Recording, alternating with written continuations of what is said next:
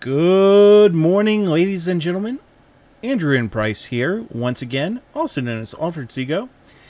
And uh, I've been doing messing around with 1.3 some more, and I kind of ran into an interesting bug this morning, so I thought I'd go ahead and try to record this. I actually do have my resolution set properly this and I in fact also have my mic adjusted properly this time, so hooray for that.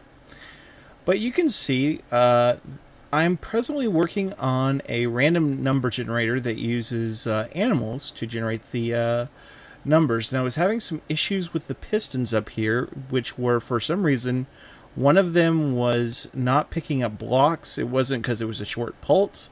Then the one next to it picked them up fine, whatever. It, it was just weird. So I logged out of the game, came back, and I came back to this. Now, since you haven't been working on this thing all morning, you may think, oh, well, this is just a half complete building. But it's not, because if I try to move forward, look, there's a wall. I don't see a wall, but uh, the game is telling me there's a wall because there is actually a wall there. And if I get in here, you can see the same thing. It's There's a invisible wall. It's not a chunk error because, well, you know, it's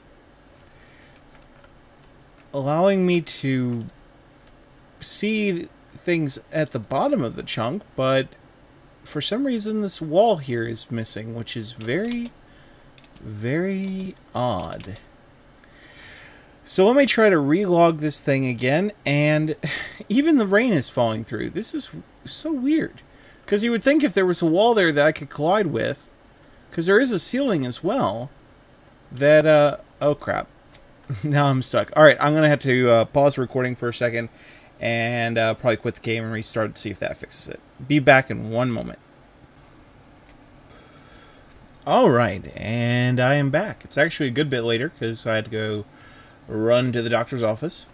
But I guess since I was doing this video to show off that error, I was also going to real quickly show off uh, this. This was something that a uh, guy on Reddit that I replied to uh, was working on, and I thought, you know what, I will have a go at this too and see if I can come up with anything. And basically, it's a random number generator, and he wanted to use it for doing either, I'm not sure if it was for dice rolls or for doing something that uh, made it look like a dice as a decorative, uh, or a die as a decorative item. Um, but regardless, I decided to come up with a way of doing it. But the problem with most random generators in Minecraft, or random number generators in Minecraft, is that they are very laggy, and on a multiplayer server, that's not very good. So, what I did for a solution is to use uh, chickens because they move somewhat randomly, anyways. And, uh, you know, the idea was initially, and I'll show you over here where I started. I initially had two of these chambers, just like this one, with a uh, pressure pad in the center and, you know, like four chickens in here. And the idea was they would move back and forth. I tried uh, I thought I had read before that they were attracted to light, so I was trying different things with that to see if I could get them to move to, from side to side when they would activate the pressure plate, but uh, couldn't really get something I liked too much. So I kept messing around with it, kept messing around with it, and this is what I eventually came up with. Uh, it's not perfect. Uh, it's like at some of the extremes, it's still having issues, although right now it's hitting uh, a 6, I do believe. Uh, but basically, it's uh, my first use of uh, tripwires, actually, which for the most part I like. And uh, the uh, swimming chickens will, you know, flutter and jump. And when they jump, they hit the tripwire, and that sets off that particular the particular number that is linked to it. I, I'm using basically what is I think Static's. I think that's the person who I based this off of uh, it's a train terminal selector essentially, and so it comes up and then it goes through here. And because I was initially using pressure plates, I put this in so that uh, it would generate a pulse instead of uh, the chicken sitting on the pressure plate. but I eventually decided oh, I'll give tripwires a you know a try, see how they work in this scenario, and so far they've been pretty good. I'm pretty happy with them. Uh, one thing I would say I don't like about them very much is this. As you can see, uh, things can climb into the little, like if you try to hide the tripwires, things like chickens can climb in there. I wish that it would uh, keep them from doing that, but I guess that's really the only one block high creature, so other than, I guess, um, slimes, so maybe it's not that big of an issue. Uh, initially, I, I've, you know, tried to think out different ways to do this. Uh, different uh, like I said, I had issues with the uh, chickens just wanting to sit on the stupid uh, pressure plate. So I was like, well, maybe I can knock them off with a piston or something like that. Couldn't come up with anything really good there. So that's why I went to the tripwires and then the water. I also uh, thought about just putting a, uh, having, like, building one of my normal counters, uh, building a clock, and basically having a chicken here. And then have them wander to the end of the ramp, and when they fall off, they uh, hit a pressure plate, uh, and they may circle them back around with water or something. But it still seemed like it would be too easy to predict. Uh, plus, I also didn't like that the uh, the individual, if it is going to be used, actually is a die roll.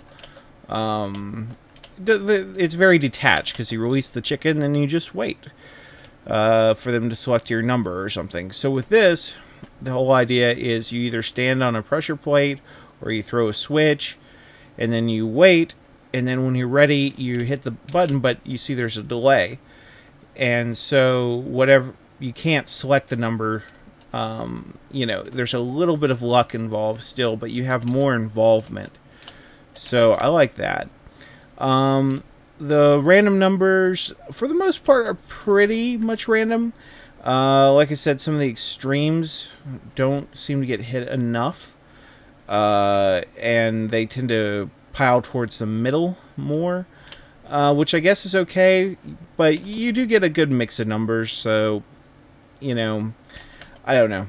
Uh, I also wish this thing would update more often than it does, but due to the fact that, uh, like I showed earlier, I've been having some issues with uh, Minecraft recently, and then also there is no protection in this thing to to protect against multiple inputs. Uh, the way it's designed right now, um, it's probably for the best that they're not coming faster than they are because I'm afraid it would jam.